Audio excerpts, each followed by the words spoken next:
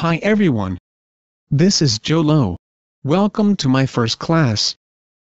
Today in my class mainly focus on face design.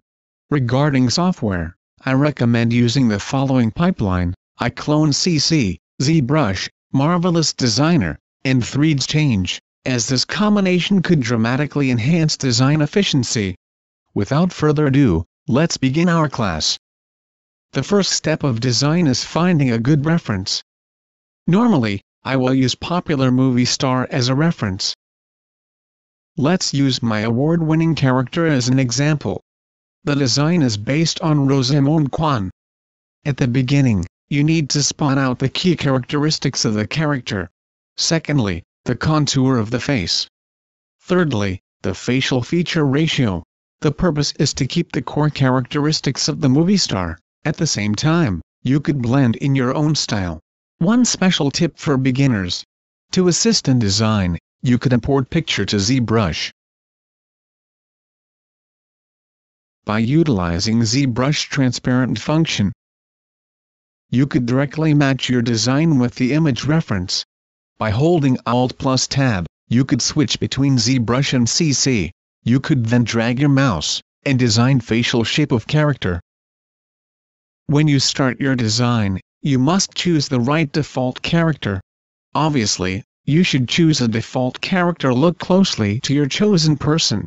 As every default character has a unique combination of points, lines, and surfaces. Since Rosamund Kwan has a diamond face, we need to adjust this key characteristic first. We could first adjust the contour of the face. And then, her facial feature ratio. However, I changed the shape of her lips and the shape of her nose, so that my design will have its own personality. It's important to know, every change on the facial feature configuration will impact character's personality. Give you an example, the character looks optimistic have a curved eyebrows and it's less close to the eyes. The character looks like a tough woman when the eyebrows have a high arch. You could make reference with the Chinese physiognomy, Look, if you want to make a drastic change, you could directly enter a specific number for the setting value. For example, when you directly input chin sharp value as 200, you will not be bounded by the system restriction, and you can set the value more than 100. In this way, your character will have a stronger chin sharp, and looks much personalized.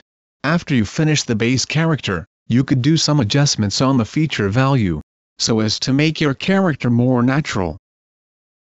The last step is to adjust the PBR roughness.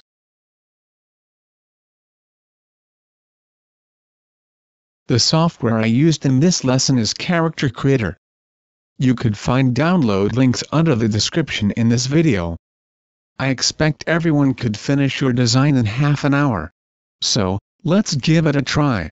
Today, I've explained on how to use CC default character to create your own unique character. Next, I will introduce the techniques of character design on Figure. If you have any questions, don't hesitate to leave me a message. And please add my Facebook page. See you next time.